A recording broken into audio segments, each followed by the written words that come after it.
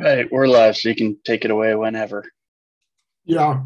Okay. Um, I'll just wait a couple. People are still coming in, so I guess even in the top, in the middle of the pandemic, everything is still academic time.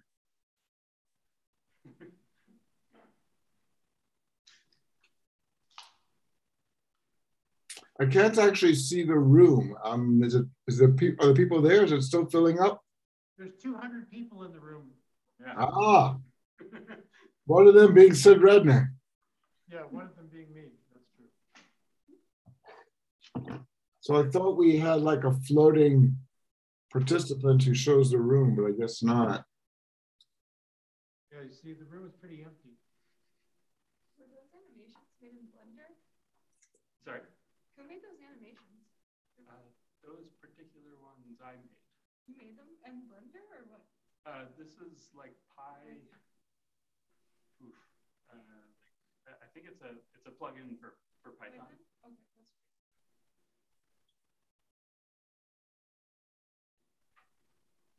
Okay. So Sid, Yeah, I spoke to him this morning. Uh, tomorrow. Great, thank you. Yeah, yeah. um, Sid, could you be my eyes and ears? When is the when are we asymptoted on um, people there in the actual room physically? I think this is probably the asymptotic behavior. Okay. Four people in the room, five people, including Ben. Okay, five people. Okay, um, including um, that includes Scott and Ben. Okay. Um, all right, Michael Lachmann just joined, but I figure we can probably get started. Um, okay, everybody. Um, Ben, in very uh, in exemplary SFI style, works on many different topics. So last time we heard him discussing um, aspects of biology down into the nitty gritty details of experimental systems, um, uh, relating it to issues of thermodynamic efficiency and information theory. Um, but he's actually done probably, I would say, most of your work, Ben. Um, correct me if I'm wrong.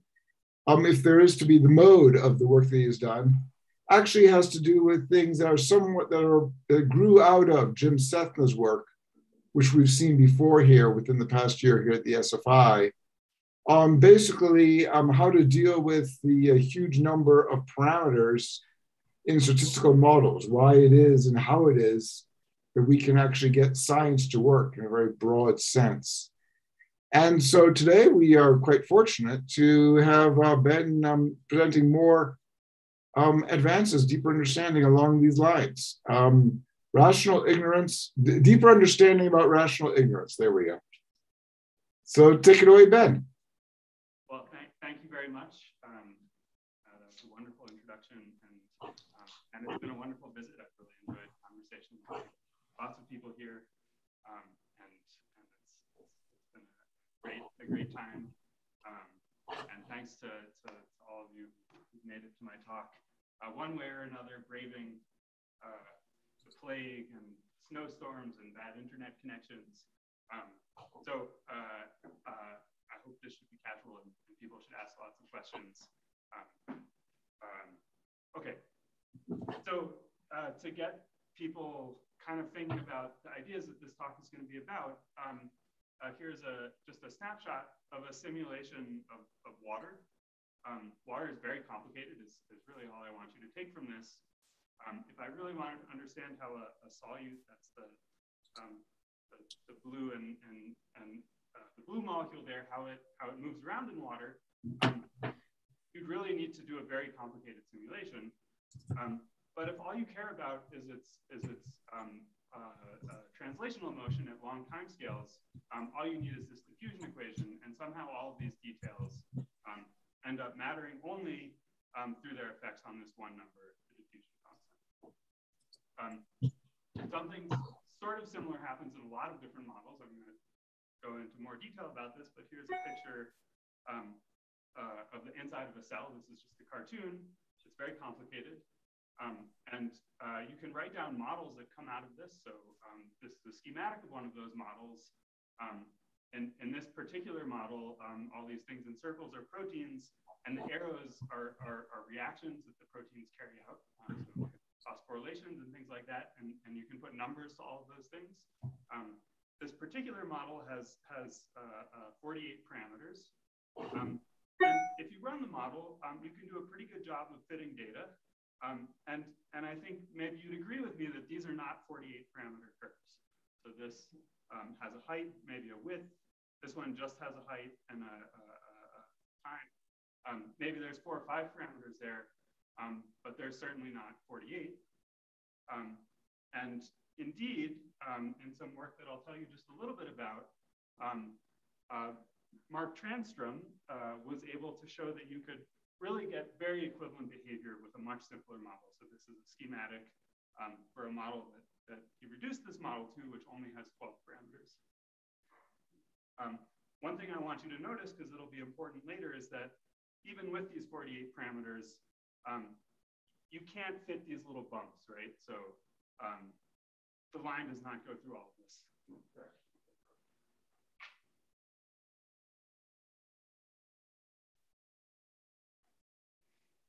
Should I be sharing the whole screen? No, no. There's a audio on the other end. Now it should be better. Awesome. Is it better? I'll try and speak more directly at the screen. Hey, no, it's not better. It's worse. Let's see. Scott? Scott? um,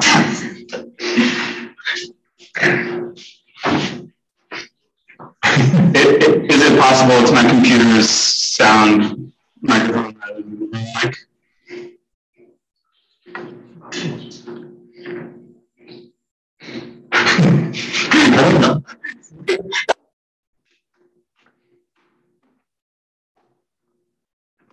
Continue? Yeah. Is it for those online? Now the sound is very bad now. You're very noisy, very noisy. It's, it's unpleasant. I wonder if, is any,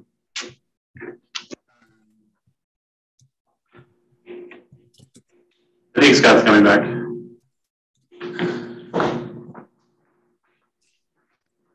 This?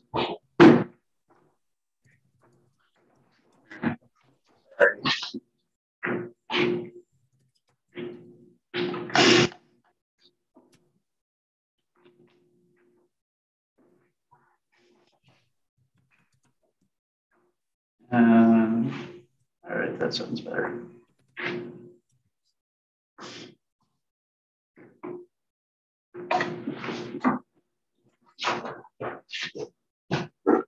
Uh, excellent. How's this?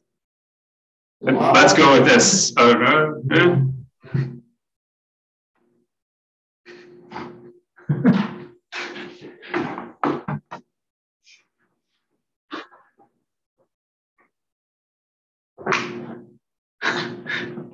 It's still coming in hot.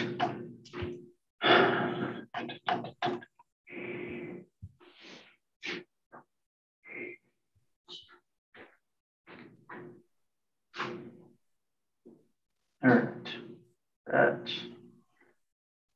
maybe. let's go with this. Is that better? Awesome. Thank you. Um, okay, so so I guess what I want you to take from this is is is partly that this reduced model does do a good job, and then maybe you should be impressed that even with 48 parameters, it is possible to capture quantitatively some of the things that's happening in this whole mess. Okay, so so why do we want why do we prefer a simple model? Um, uh, that uh, and and there's a couple of reasons that I want to uh, go over quickly. One is that um, a simpler model might avoid overfitting. So I showed you that even that complicated model um, didn't do a lot of overfitting. Um, I'll have a little bit more to say about this. Um, there's also aesthetics. Um, so I think this is a very valid reason, um, uh, uh, but it's not something that I'm going to be talking about too much more here. and it might be easier computationally. but actually, I think the reason you might prefer a, a, simpler model in the case of diffusion, and I will, argue also in, in systems biology models, um, is that most parameters of complex models are actually irrelevant um, in a very precise sense, um, that they don't actually make any input, any impact on, on observables that you'd be able to see in an experiment. Um, and, and then what I'm going to tell you is that a simpler model um, in a very concrete way actually learns more from an experiment. Um, so that, that, that's one of the things that, that I'm going to be arguing for here. And the second thing is that it should still be possible. Um, so if if you think that the reason you should prefer a simpler model is that most parameters don't matter, um, then it seems intuitively that you ought to be able to use a more complicated model if you don't know how to reduce your model. Um, and, and I'm going to argue that indeed you can still use a complicated model to make unbiased predictions. Okay, so um, uh, so I want to motivate the idea of, of making a parameter ensemble, and, and, and I'm going to do that by showing this climate model, or this is not a climate model, but but but to to, to um, tell you about um, a goal of climate modeling. So um, so here are the temperature anomalies from 1880 to 2018, um, and uh, uh, a model for this would have a lot of diverse data. Um, you can sort of imagine what that would be. Um, uh, you could build a very complicated multi-parameter model, and one goal of this would be to predict um, the future of climate. Um, so you'd want to be able to predict um, what this map might look like uh, in the future. Um, and I think you'd agree that, that, that the reason this is difficult is because we can't pin down all of the parameters. So for example, um, we might not know how much uh, of an influence melting snow will have on increasing uh, the absorption of radiation. Um, uh, and, and, and, and one idea of a parameter ensemble is that, that we can get a quantitative handle on it um, with an approach uh, schematically like this. Um, so what I want to do is, is, is make the probability for future predictions be some sort of an average over, over my model uncertainty. Um, so this part here is, is some integral over possible values my parameters might have very schematically. Um, and for each one, I want to weight the probability of a particular prediction. Um, and to go into a little bit more detail, these terms that I've colored blue, um, those are related to how consistent each possible model is to the data that I already have. Um, so I'm going to fit um, my model um, to existing data, whatever that might be. Um, and, whoop, and this red term, which is going to be the subject of, of, of this talk, is about deciding on what measure to give um, to parameter space. So I'm going to be talking about this in the context of an uninformative prior, but I want you to think about this as just being a measure on the space of parameters um, that, that this model could have. And in particular, you want a measure that really gives equal weight to every distinguishable prediction. Um, so, so every model that makes a different prediction, you want to give equal weight to. Okay, so um, I'm going to give the central claims of this talk first. Um, and, and, and one of them is that this approach can work even if my model has too many parameters. Um, so even if I don't know how to reduce it to a model that, that uh, every parameter is independently fit by, the claim is that you can still use this approach. Um, but the prior that, that is most often used in this context, Jeffreys prior, um, I will explain what that is, and I'll, I'll tell you that Jeffreys prior actually introduces extreme bias if I use it for a model that has too many parameters. Um, and the reason, and I'm going to give it to you qualitatively now, is that Jeffreys prior really conflates two distinct uh, notions of parameter space measure. Um, so what I told you is that what we're looking for is a measure that gives equal weight to every distinguishable prediction. Um, and in this space that I'm showing you here, um, inside of the green is the space of possible models. Um, and on this space, there's a measure um, which where, where distance is measured in, in terms of standard deviations. Um, and equally distinguishable predictions I can qualitatively do um, by putting this model on some graph paper. And roughly, whenever my model goes through one of these squares, that means it's distinguishable from its nearby models, and I want to give that equal weight. What are the axes of this plot? Uh, I will explain in detail what the axes of this plot are. Okay. Um, um, but for now, um, these are different models. So, so different points in this are different model parameters. And the distance between points is how easy it would be to distinguish them from data in units of standard deviations. Um, so th this is the goal is to do a weighting on parameter space, something like how many squares does this go through? And, and I want to highlight that this is very different from weighting things by their volume. In particular, here there's the same number of blobs as there are squares here. Um, but you can see that this gives very little weight to this end of the model space here um, because it's very thin, even though um, this thinness is much less than one. So there's no reason to care about whether you can distinguish models on one side or the other anyway. Um, so what I'm going to argue is that this really gets to be a very extreme problem in high dimension, and that this is the reason Jeffreys prior doesn't work. So that's where we're going. Um, and I'm also going to introduce an unbiased optimal measure. And for this particular model, um, this is what that weighting would look like. Yeah. Yeah, does it does it matter if the different models have structure, like some hierarchical structure to them? And I guess what I mean is in the biological case, you could have a huge network and you're just asking like which which reduction of that network it makes the most sense or gives the most predictive power.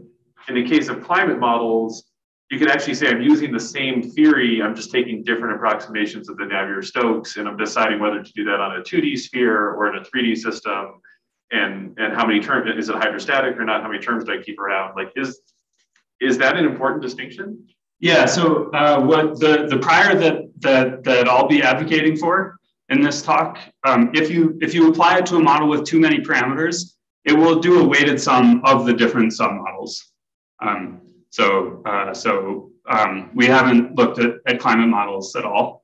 Um, uh, just a motivating example, but I'm sure that it would do this. It would pick out, um, you know, a collection of different possible simplifications of the big model class. If that answers. Yep. Yeah. Thanks. Okay. So, so that that's what I'm. Uh, that's where I'm going. Um, to give an outline, I'm first going to uh, introduce some statistics. I'm going to talk about the Fisher information metric, which is um, the measure on the space that I just showed you. Um, I'm going to uh, talk about sloppiness and hyperribbon geometries, and in particular, tell you about a particular structure that these models have. Um, I'm going to tell you uh, that edges are simpler models.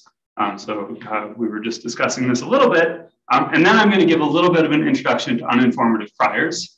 Um, and then I'm going to tell you about uh, what's really new in this talk. Um, I'm going to tell you about priors which maximize the mutual information between parameters and the data that they will see. Um, I'm going to tell you that Jeffreys prior actually introduces this extreme bias um, by using this incorrect measure. Okay, um, so just uh, to, to get everyone on the same page with some statistics um, and, and notation, I'm always going to be talking about parameters theta.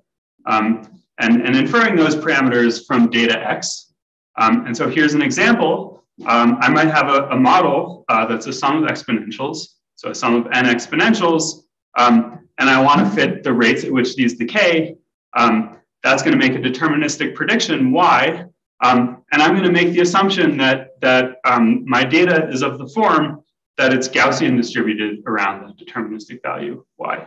So the probability of x is going to be a multivariate Gaussian um, centered on the deterministic predictions of the model. Um, and, and one approach to understanding models this way is, is, is looking for the maximum likelihood estimate. So this is the, the parameter theta, which maximizes the probability of having produced the data. Um, Why are the sum of the exponentials all the same weight? I mean, couldn't they be different weights? They could. Does uh, change anything in what you're saying? It, it does change. Uh, it, it, qualitatively changes the picture. Um, it doesn't, uh, sorry, quantitatively changes the picture.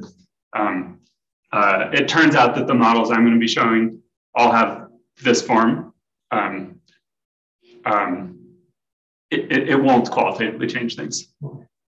Uh, ben? Ben, yes. so, so, I'm a little bit confused about the notation in your likelihood. P of x yes. given theta.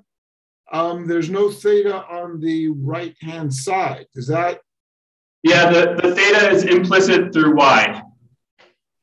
So is y a conditional distribution or is it a parameterized function?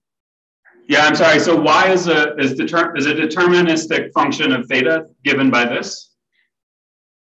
It's a deterministic function of t parameterized by theta. Wait, um, it's a distribution it, over t parameterized by theta. There's, there's, it's a deterministic function of t and theta. I'm sorry, I should not have this bar here. That should probably be a comma if that's, um, so y is a function of t and theta, um, and the probability distribution on x, that is, um, you know, that this is a, um, this depends on theta um, implicit or implicitly because of the dependence on y. So we could just make it all work by getting rid by changing that vertical bar in the first one to a comma, and then in the second one, rather than we y of ti, it will be y of ti comma theta. Sure. Yes. Okay, got it. Thank you. Yes. Okay, and so uh, so um, so the maximum likelihood estimate on theta is is just the theta which maximizes this. Um, okay, so at the best fit, I can take a derivative with respect to theta of of the probability, um, and I get zero, right? So it's it's the best fit. Um, and and the next thing I can do is define the Hessian of of of this. Um, so this is the second derivative of, of the probability distribution. Now, this is the best fit. Um, and so uh, uh, the Hessian is going to be uh, positive when it's defined this way. Um, and uh, uh, it's, it's symmetric and positive definite. Um, and so it defines really uh, confidence ellipses as I get close to the best fit. Um, so if these ellipses are long, that means um, uh, I can move a long way in parameter space before I get a model with a substantially different cost. Um, if, if, the ellipses are short, that means I don't have to move very far before uh, my data rules out those parameter values. Okay, so, so that's the Hessian, and I want to quickly switch to thinking about um, the Fisher information. So before I actually see any data, um, I can define the Fisher information as the expectation value of the Hessian, um, given the data that arises from that model. So um, this is going to be the second derivative of log p, but in expectation value, um, given the, the expected data that I'm going to see, um, this is still positive and symmetric definite. And, and now this actually defines, um, uh-oh.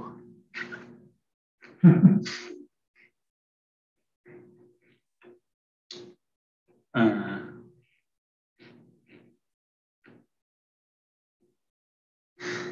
Good enough. uh, okay, so this um, this this defines a, a, Riemannian metric on the space, and what that means is I can I can think about um, um, a proper distance, if you will, um, between models that are close by in space, um, and this distance is really going to be measured in, in units of standard deviations. So it's it's it's a measure of how distinguishable two close by models are going to be from the data that one of them will produce. Okay. Um, so um, the, the, the main point about sloppy models, and I'm going to explain why this is, is that G um, is positive, it's symmetric, um, and its eigenvalues are evenly spaced in log.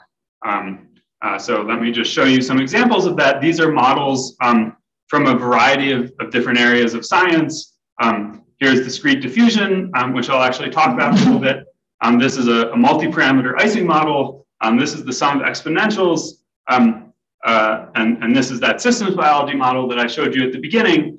Um, and, uh, and, and what you're seeing here is the eigenvalues plotted in log space. And, and what's really important about this is that they're evenly distributed over many orders of magnitude.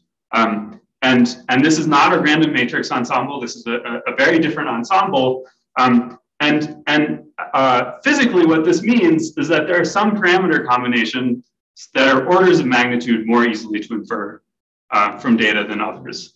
Um, I, I'm I'm really confused, like for say discrete diffusion, you know, which is just one equation. Like, how is it that you trying to match it to like a sum of exponentials? What is that? What's I, I, will show you okay. the discrete diffusion in more detail. That's that's an example okay. that I'll show. So so um, uh, that's an attempt to to um, to address this question of why water um, which is very complicated, just has the diffusion constant. Um, um, but but but I guess the what I what's what's really important from this slide is that that here um, a long direction, so an eigenvector with a large corresponding eigenvalue, um, uh, that will be very easy to infer that parameter with high precision from data. Um, whereas a small eigenvalue means that I can um, move many orders of magnitude um, without changing the cost. Okay, so I can also think about um, this in data space. So for a least squares model, the metric has this form. Um, and, um, and what um, maybe if you're very good at embeddings and geometry, what you can see is that this is just the form that's gotten um, by embedding uh, the model parameters into the space of their data. so here's an example of that. If I just fit my sum of exponentials to two data points, these are shown here, um, I can think about the metric as coming about um, by embedding each parameter into the space of their data. So now I'm plotting um, the second data point, y of t2, versus the first data point. Um, and, and this is the metric space of the Fisher information, right? Um, if that's okay. So um, uh, uh, what I uh, want you to take from this is, is firstly that even though the parameters can go from zero to infinity, right? There's no reason the rates couldn't be zero or infinite. Um, the information geometry space is bounded. Um, and, and you can see that because no matter what my parameters are, um, these two data points, the, the y's that, that they correspond to will always go between zero and one. So that means they always need to fit in the square. Um, and it's a funny shape because, for example, y of t2 um, needs to be smaller than y of t1 because they're decaying exponentials. Um, so this is the space. Um, is this is this okay? People are. I, mean, I mean, you're still. I mean, I'm still not seeing the connection with like discrete diffusion with just like one. That, that, that's coming, um, but but but the information geometry and and that this is um, the metric that corresponds to to the sum of exponentials, I guess, is um, what I hope is clear at this point. Okay, so um, so as an experimental fact, um, when I when I take one of these models and I look at its uh, uh, model manifold, so the the manifold that I was showing before in higher dimensions, um, they have this characteristic structure that they're, uh, uh, we call them hyperribbons. Um, so, uh, so here I'm, I'm showing a sum of three exponentials in three-dimensional space. And um, what I hope you can notice is that it has this very long direction here. Um, uh, that, that corresponds to, to, um, to, to this direction in two. Um, then it has a second direction, which is thinner, and a third direction, which is extremely thin. Um, and to remind you, distance measures distinguishability, and this means that there are two parameters that I might be able to infer from data, but the third one is extremely indistinguishable, right? it's very thin. Um, any two models that only differ in that third direction are going to differ by a very small amount. So, so Ben, I've got a really dumb question. I'm missing a little bit about what you mean about embedding. If I've got more data than parameters, um, presumably you're going to be embedding into a submanifold of the data space, and I'm not really seeing what is meant by that. Well, for example, if I was the consequences of this? So, for, for example, if I was just fitting a single exponential to, to two data points, um, then my model would just be this line. But a single model. So okay, but that but that that dimension right there is the dimensionality of the number of parameters. It's not the dimension of the number of data points. If I had three data points, what would it mean to what you're thinking about how exactly I embed a two parameter model into a space with three data points?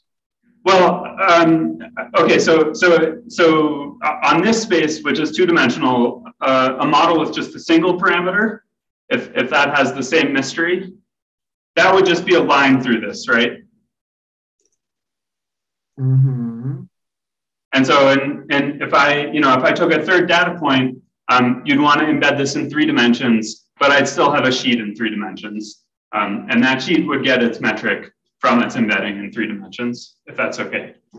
Okay, yeah, I mean, I understand algebraically. I'm not quite sure I understand the um, what I'm to take away from the pictures, but that's okay. Well, um, I guess what I what I want you to take is that um, this has this particular structure of being a hyperribbon, that it has a very long axis, and then every successive axis is smaller by, by a geometric factor. Okay. If that's okay. Yeah. Okay. So why why sloppiness? Um, uh, and, and I think in this model, it's easy to understand this from interpolation. Um, so um, so the sum of exponentials actually has all sorts of, um, of, of, constraints. Um, and, and for example, um, once I fix a time point at, at, at t equals a third, um, I know that all successive time points are going to be lower than that, right? And that's because the first derivative of any sum of exponentials um, is always decreasing. Um, and, and it turns out um, after I've pinned that down, actually, I'm sorry, I should have first pinned this one down. Um, but, but every time I, I pin down a successive data point, um, I vastly constrain what the other data points can do. Um, so, um, so it turns out that each data point I constrain constrains all of the other data points by a geometric factor. and that's one way of understanding why you get this particular structure.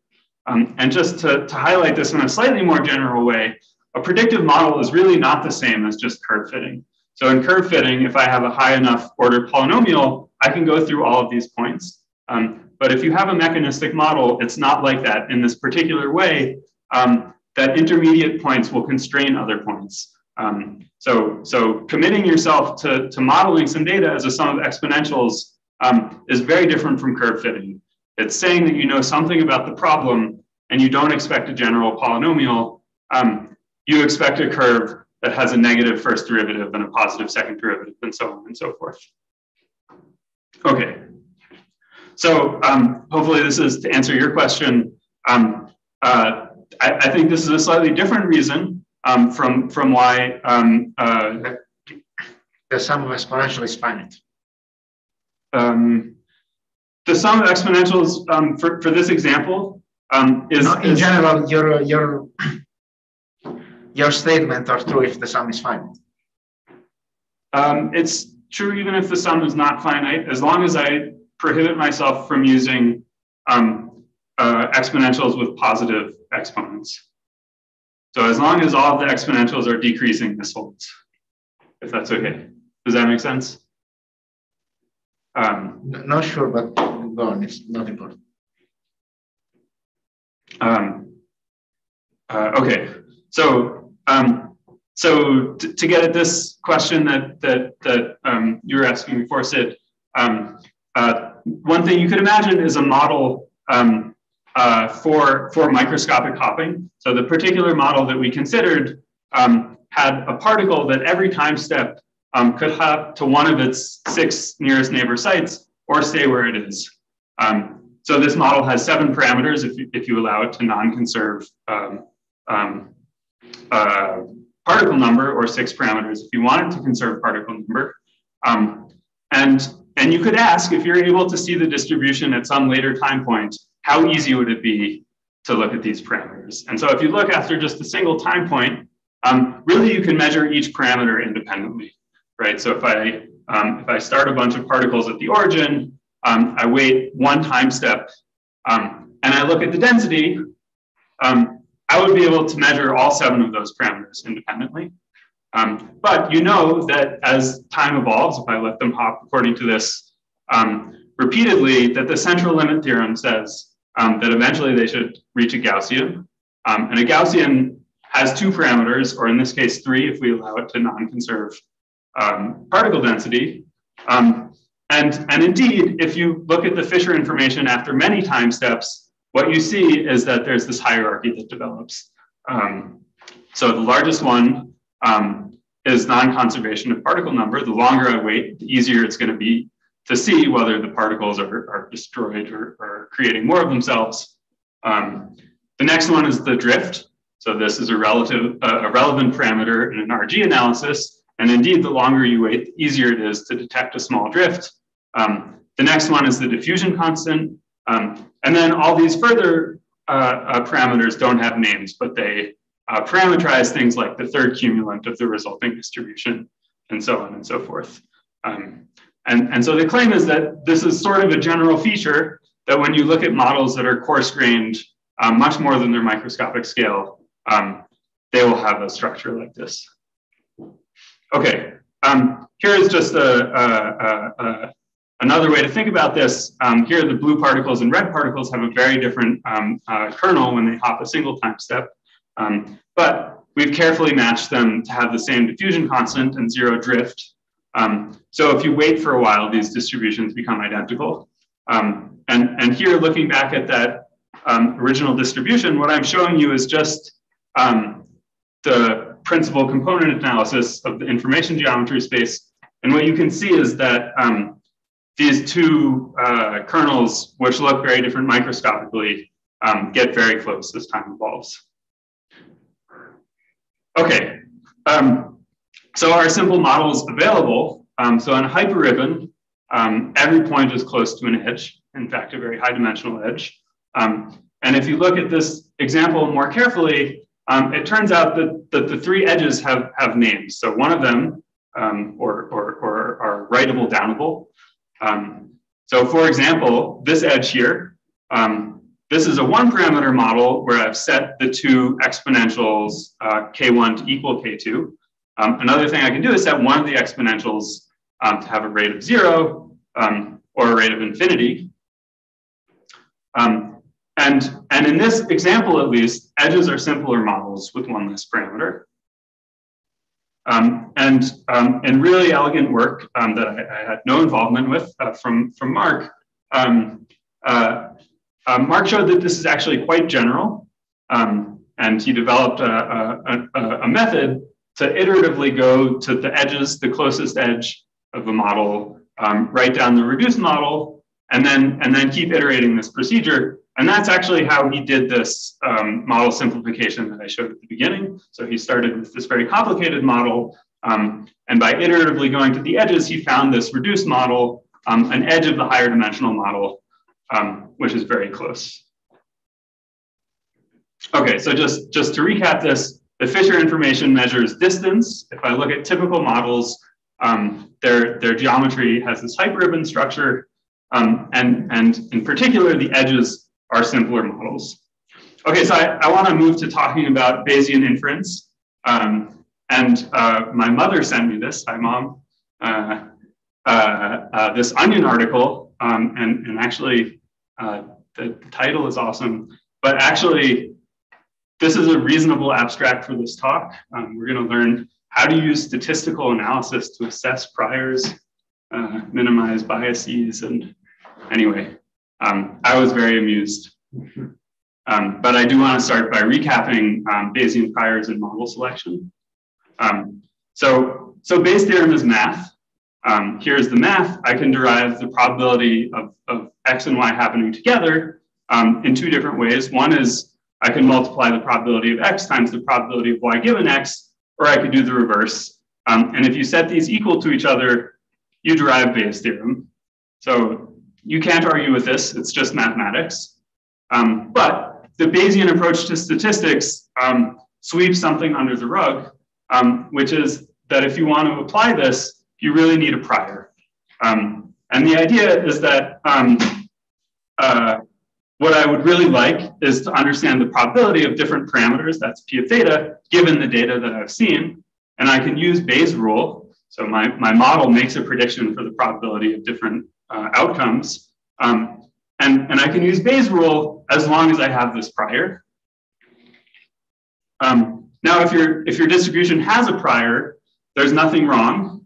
Um, but it's kind of a hand wavy thing to do because it's not really parameterizing a probability distribution, right? A prior is, is really parameterizing um, your uncertainty about the world, right? If you really have the right model, the correct prob the correct parameters would be a delta function somewhere. You just don't know where. And it's a little bit hokey to parameterize your uncertainty with a probability distribution in this way. Um, so how do you choose a prior? Um, uh, what what um, I'm going to be advocating for here is to choose one which maximizes the amount that you'll learn from your experiment. Okay, so the first thing I need to convince you of is that a flat prior is sick.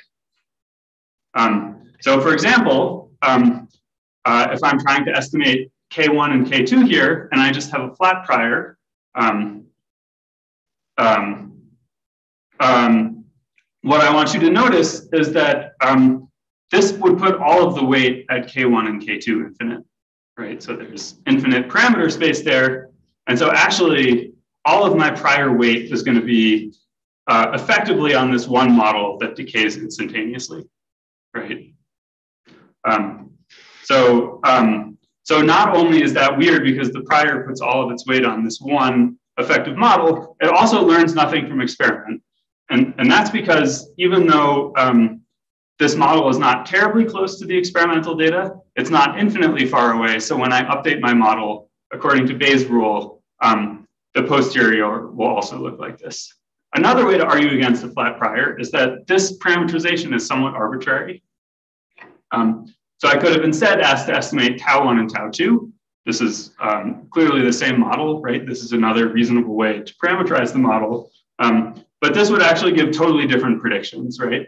So, um, so, so if I parameterize it this way, my flat prior would instead say your model should never decay. And again, I've learned nothing from data. So this is not reparameterization invariant, and it learns nothing from data. Okay, so Jeffreys prior takes its measure from the experiment that you're going to perform. Um, and as motivation, Jeffreys argued that the idea is, is, is, as I was saying before, that you should put equal weight on every distinguishable model. Um, and Jeffreys prior is literally the volume element of the Fisher information matrix. Um, so it depends on the expected data because the Fisher information does. Um, and, um, and, and I guess what you should take from this is that Jeffreys prior is equally weighting volume in this space here, in this case area, right? Okay, so uh, Jeffreys prior is sick for models which are hyperribbons. And I think the easiest way to say, see this is, is by looking at this. So, um, so Jeffreys prior is going to measure the n-dimensional volume. Um, in this case, this is the three-dimensional volume here. But I think you'd probably agree that this is effectively a two-dimensional model here. Um, and as a result, weighting it by, by, by its three-dimensional volume doesn't make a lot of sense. And it's going to suffer from this problem that I showed you before, um, that, that if I weight things by their equal intrinsic volumes, um, maybe what you can see here is that this edge, which is very thin, and you can see that because there aren't very many circles here. Um, I should say that this is sampled according to Jeffreys prior. Um, um, that doesn't really reflect um, that these models are, are just as distinguishable, right? Um, they're the equivalent of being somewhere out in the tail here. Okay, so what we really want is a prior which is not just invariant to changes in parameterization, but a prior which is invariant to adding a parameter that can't be seen. So we want a prior um, that if I add a, a, a, parameter that doesn't do a whole lot, um, it should give similar predictions. Okay, and um, uh, what we're going to advocate for is maximizing the mutual information um, between the parameters and their expected data. Um, and, uh, uh, and I can write this in two different ways. So one is the entropy in parameter space minus the entropy in parameter space after I see my data. Um, and I could alternatively write it as the reduction in entropy in the data space after I tell you the parameters. So I have to argue for you that this is a natural thing to do. Um, and, and mutual information, I would argue, really uh, quantifies how much you expect to learn from an experiment. Um, so this is an optimist interpretation. Um, if I write the, the mutual information as the entropy in parameter space minus the entropy in parameter space after I see my data, then I think maybe you'd agree with me this is a good quantification of how much I'm going to learn from an experiment. Um, another way that you can argue for this um, is, is what I'd call a pessimist interpretation. And this is that, well, you really don't know what your parameters are, um, but you want your, your, um, uh, you want your, your, your model, your, your prior, um, to minimize the worst case. So whatever the worst case probability distribution is, um, and, and I can quantify that by asking what the KL divergence is between a particular model um, and, and my P of X, which comes from the prior, um, if I want to minimize that, this is actually equivalent. So Ben? Yes. Yeah, I've often, this is, this is a part of the, um, uh, the approach that I've often been conf- I'm confused by because there are many justifications, of course, for why you want to quantify everything with a probability distribution to reflect your uncertainty and so on and so forth. There's De Finetti's arguments, Cox's algorithms, et cetera, et cetera. From a sort of more high level point of view, you might want to say this is what um, God thinks the distribution over possible realities is in the situation that we're facing. You are instead here, though, not choosing the anything based upon what God might have done, anything based upon my uncertainty. You're instead saying, I'm just going to, it feels like cheating. I'm just going to choose my prior so that whatever God decides, so long as he's using my prior, I'm telling God what to do, I'm going to then be able to just um, uh, use my data maximally. So I'm saying, God, use my prior, that'll make life easier for me. So you can phrase this as a betting. Th- this is the optimal strategy of what I would say is a betting game with God. So, um, so the game is I get to choose my prior, um, and then uh, my prior determines what I think is going to happen. It determines a probability distribution on the data. Um, and then God's allowed to look at my prior and choose the actual parameter values of the system. Um, and we're going to bet on the outcome. And, and FKL is actually my expected loss in this game. So that's, um, you know, th- that's how much I will lose if, if God chooses parameter values theta. And, and one way to phrase maximizing the mutual information is you're trying to minimize the worst case loss. So I don't, does that? Okay, I think that is a little bit more compelling. In this game, it's an iterative game, you're assuming, I guess. Yeah, so this is assuming it's a one shot game. You write down your prior, you haven't seen any data yet. Um, um, th- there's other versions of it, but the way you derive the mutual information maximizing prior, it's, it's just a one shot game. Okay, to be honest, that, that that's more compelling, I think, than the other argument. Okay, okay, thanks for Okay, that. awesome. Yeah, uh, they're they're formally equivalent.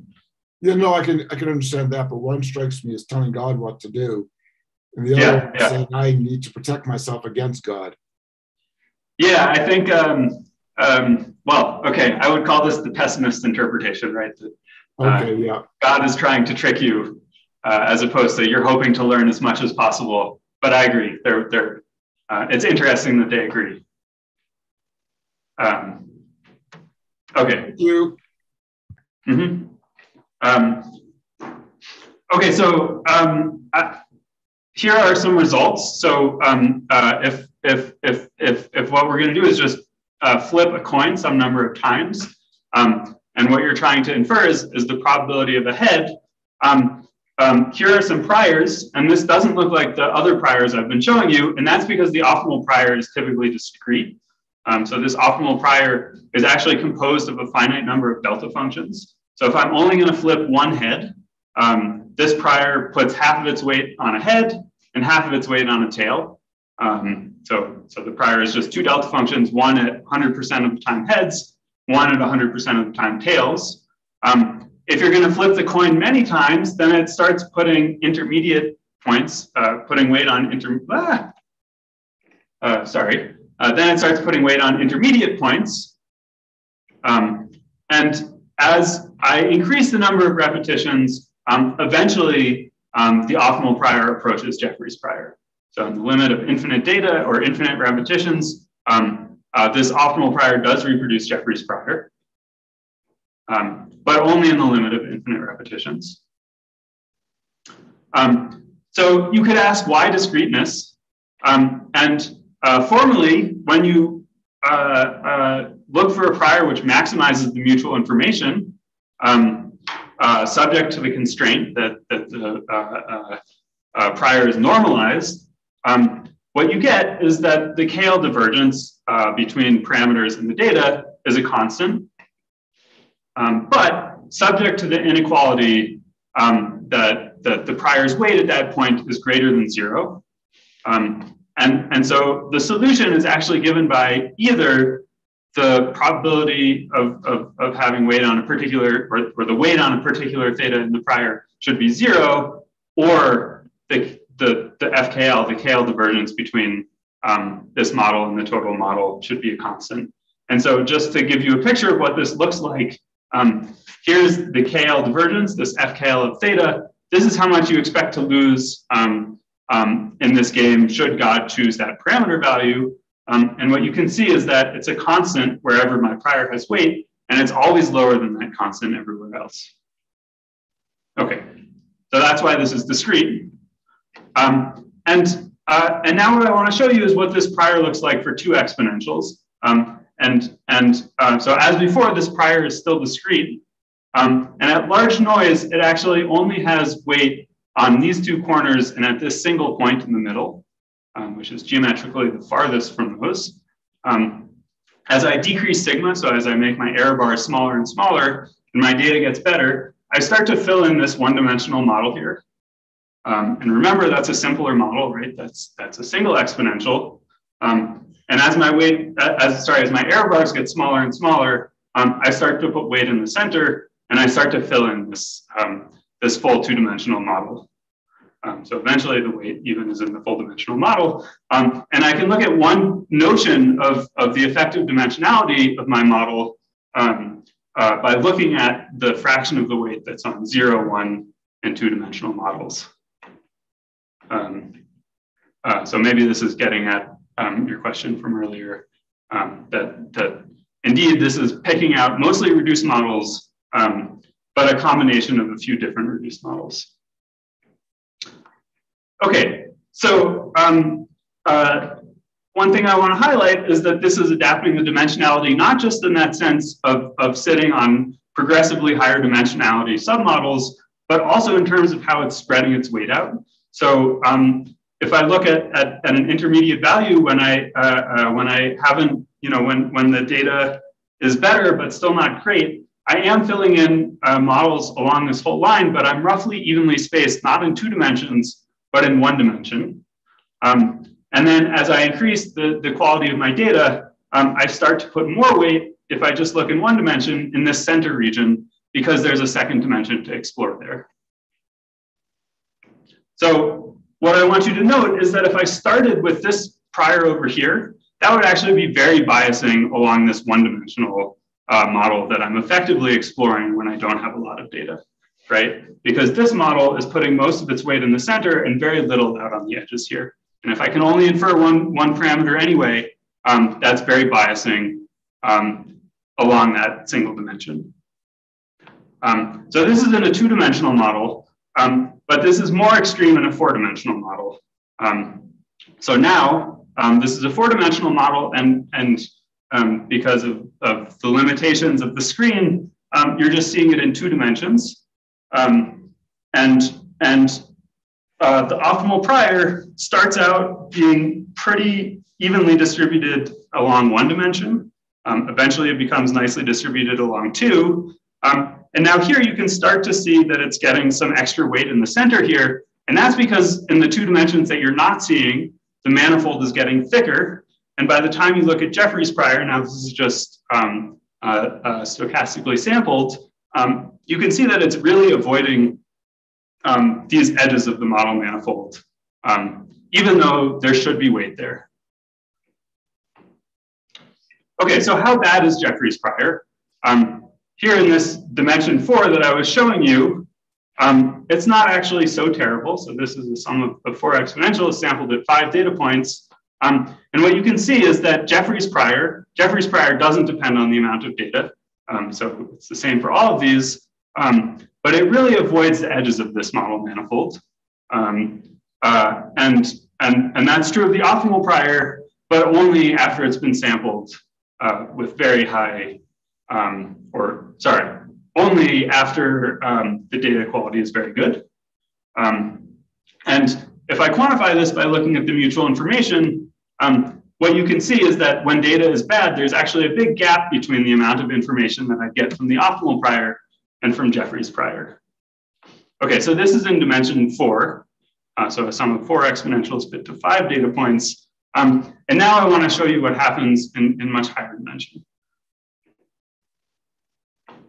So um, Jeffreys prior is very biasing in high dimension. Um, so um, to get you used to, to looking at this plot, um, now this data is being taken um, uh, in 26 dimensions. But for now, this is still a three-dimensional model, and you can see a trace of that, that there's three peaks here. this is at a sigma of one-tenth. and, and what you're seeing here is the optimal prior in blue, so it's still composed of a bunch of delta functions. Um, Jeffreys prior in orange, and another prior which is commonly used, the log normal prior in pink. Um, and as before, sorry, I also need to tell you what you're seeing here. So this is um, the first two principal components of, of, of the Fisher information space, of the data space. Okay, and, and, and, and what I want you to see here is that the optimal prior is very spread out along this. It looks evenly distributed along these two principal components. Um, and Jeffreys prior is not, right? It's somewhat biased to the left-hand side here. Um, there's another way that I can display this prior, um, which is by plotting it um, versus time. Um, and you can see that the blue points are really spread out here, um, and Jeffreys prior and log normal are less spread out, right? So, so um, just qualitatively, Jeffreys prior and the log normal prior are much less spread out in data space. Okay, um, however, they're not so bad in the sense that if I then take some data over here, which is somewhat far from where Jeffreys prior is located, all of these are able to do a reasonably good job of updating to make a posterior that, that looks like the data. Okay, but I can also look at this model in 26 dimensions. So, so now this is a sum of 26 exponentials. Um, and, and a few things to notice Firstly, the optimal prior looks pretty similar, right? So it's it's it's now flat on the top here, um, and that's because there's 26 different reduced models that you can choose that that sort of smoothly interpolate here. Um, but it's still roughly covering this space.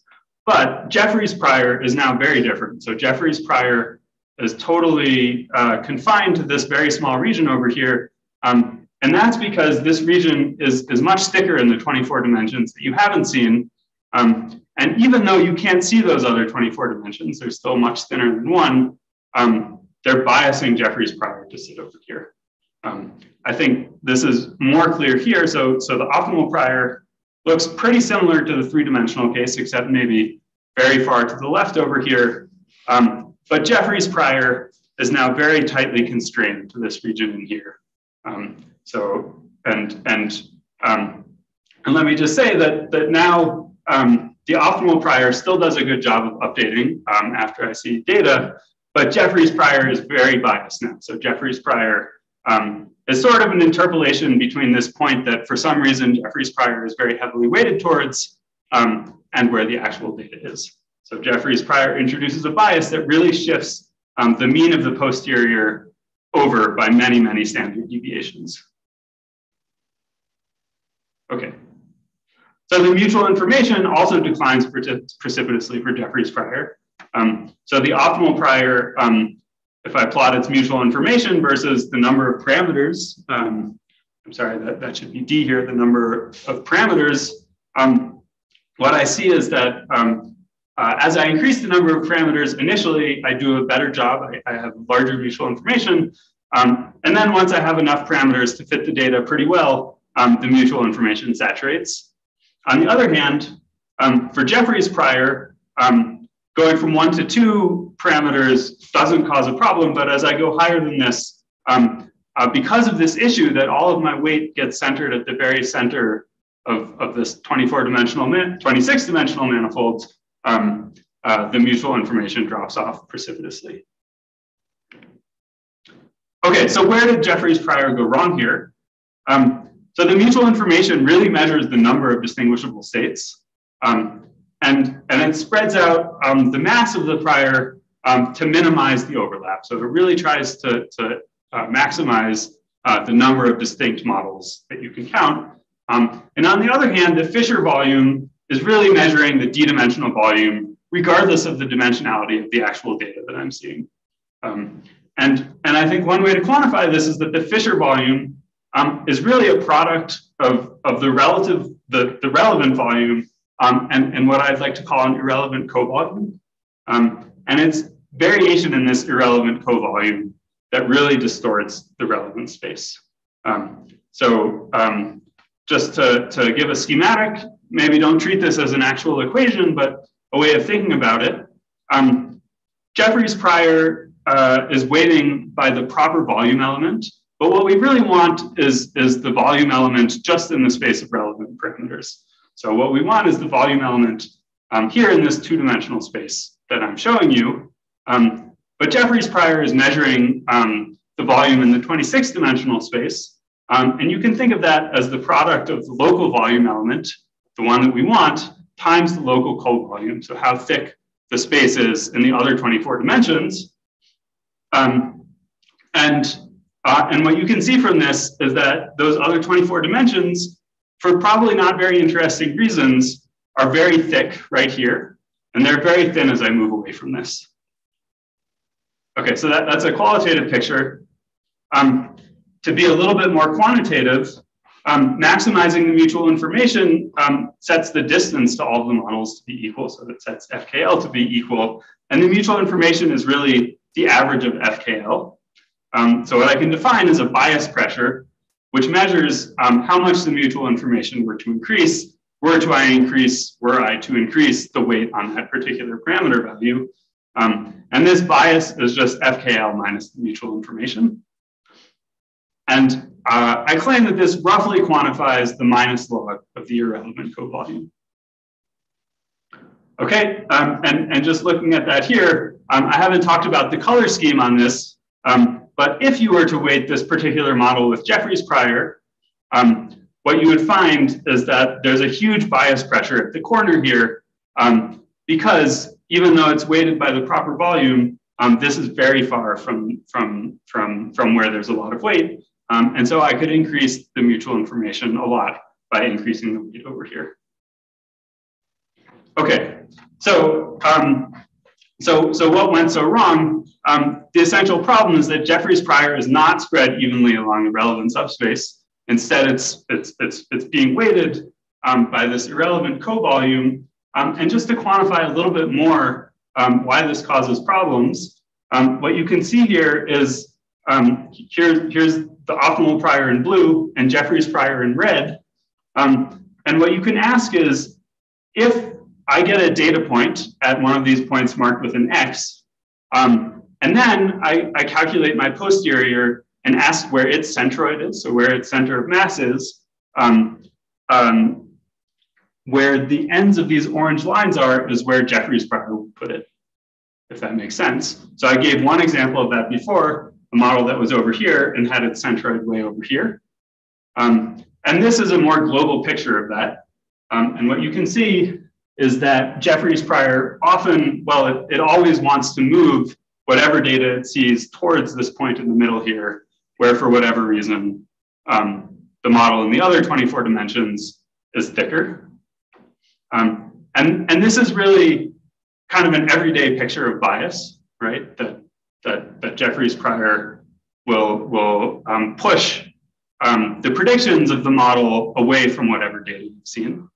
Um, and there are similar lines for blue for the optimal prior. So it's not identically zero, but it's very small.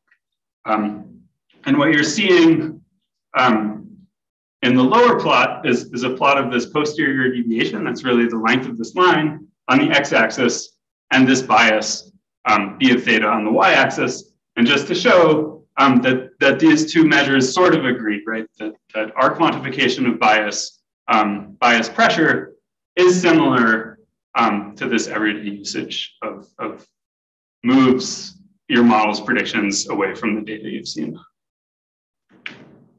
Okay, um, uh, I just want to uh, talk uh, more broadly and philosophically for, for a moment. Um, this, this approach does pose a little bit of a problem for Bayesians. So Lindley is famous for saying that today's posterior is tomorrow's prior. Um, and the idea is that, um, that you can just keep iterating this. Um, so um, so I, I, I, get some data, I update my prior, and I get a posterior. And now if I get some new data, what I should do is just keep doing another Bayesian update. Um, um, and, and, and, and what I want to stress is that that's not actually true here. Um, so, um, so if I get new data, in this framework, I also need to update my prior, right? Because the prior actually depends on what data I'm gonna get. Um, so uh, we can talk after about how much this should bother you. Um, one thing I would point out is that this is also true of Jeffreys prior, unless you carry out exactly the same experiment. So if I look at my data and I design a slightly different experiment, even in Jeffreys prior, I need to update my prior. Um, but Jeffreys prior does have the property that if you repeat the experiment, you never need to update it. Okay, so just to wrap up, um, what I've said is that the mutual information really quantifies learning from a prior. Um, then I introduced the idea of mutual information optimal priors.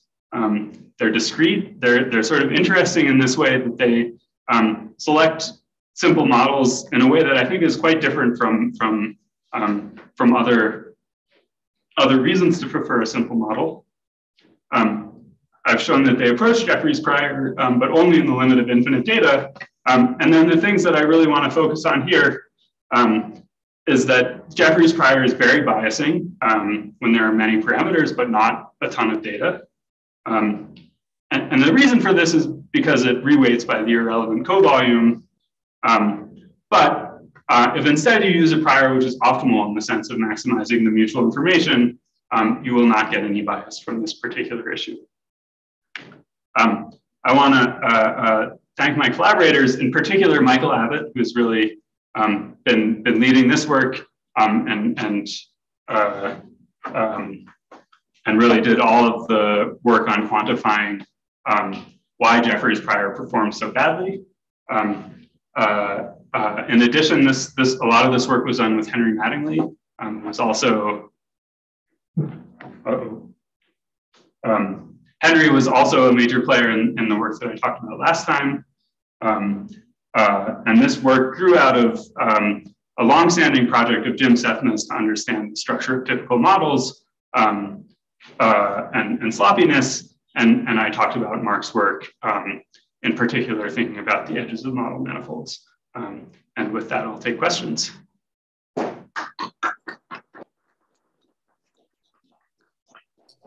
Okay, thank you very much. So um, there were a bunch of questions um, during the talk. Um, uh, I know that I um, interrupted at several points. Do other people have other questions to add to the list? Michael, go ahead.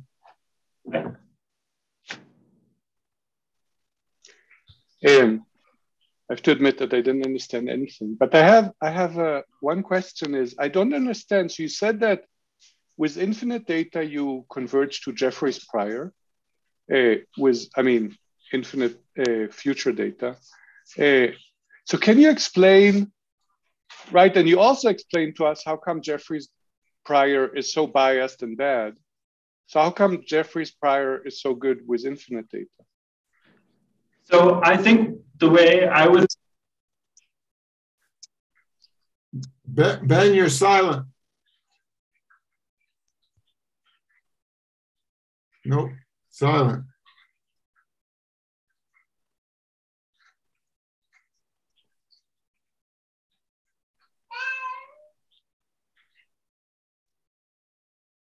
Um, did you touch something or?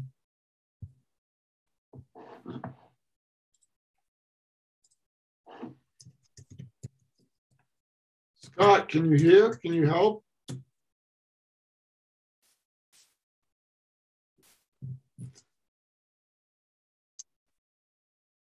Nope. Okay, there's Scott.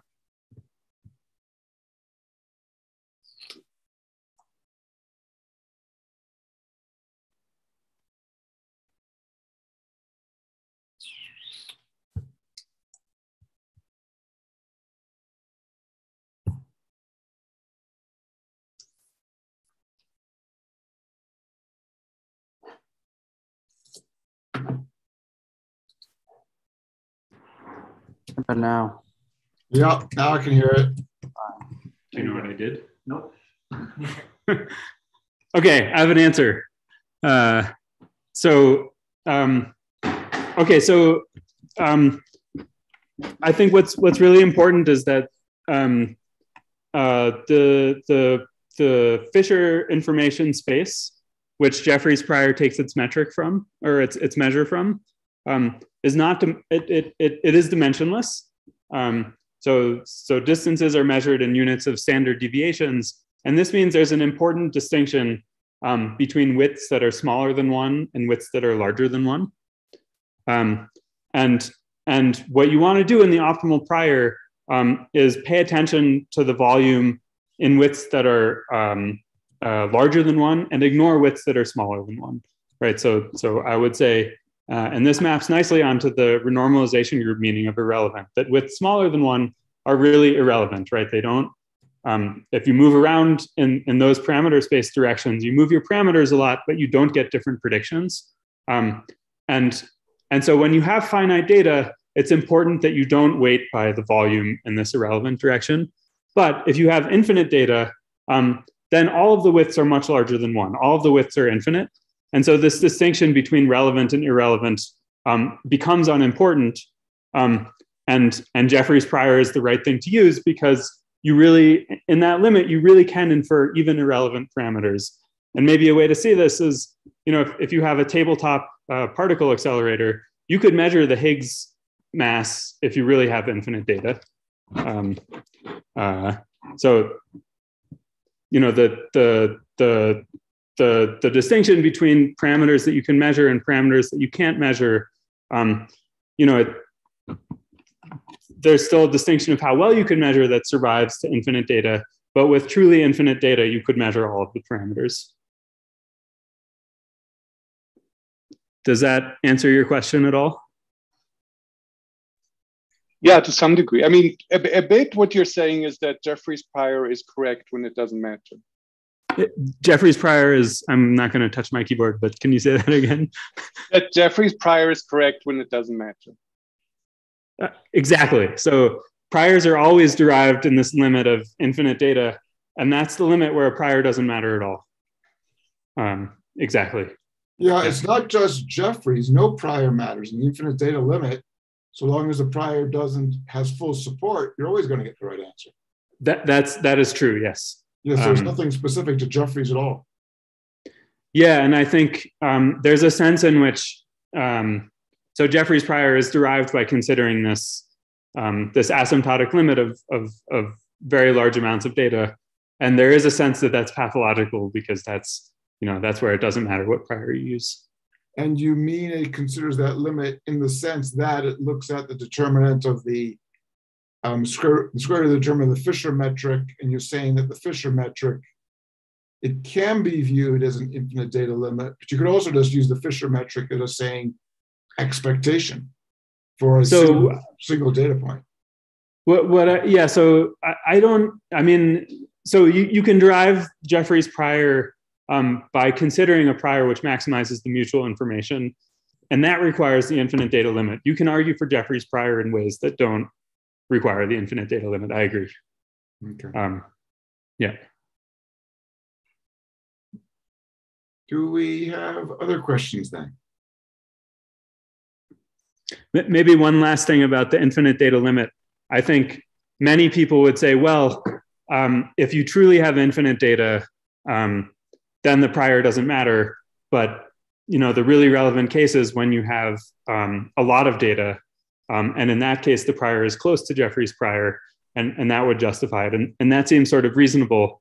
And I think that's true if you have a small model, um, or that can, can be true in a small model. But if you have a model with a lot of parameters, you're typically in the case that you are in the large data limit for some of the parameters and not for others. Um, and I guess that's the particular case that we think um, Jeffreys prior is surprisingly distorting for.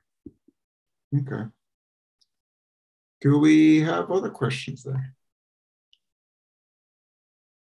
Okay, well, um, virtual claps again. Where do we do this? Like, yeah, yeah, yeah. Clap, clap, clap. There we go. So, um, Ben, this yeah. has really been um, very unfortunate the way everything has not come together as opposed to coming together. Yeah. Uh, uh, um, yeah. Between diseases COVID, and uh, snowstorms and. Oh, God. Um, but so I sent you an email. Um, um, I was wondering if you and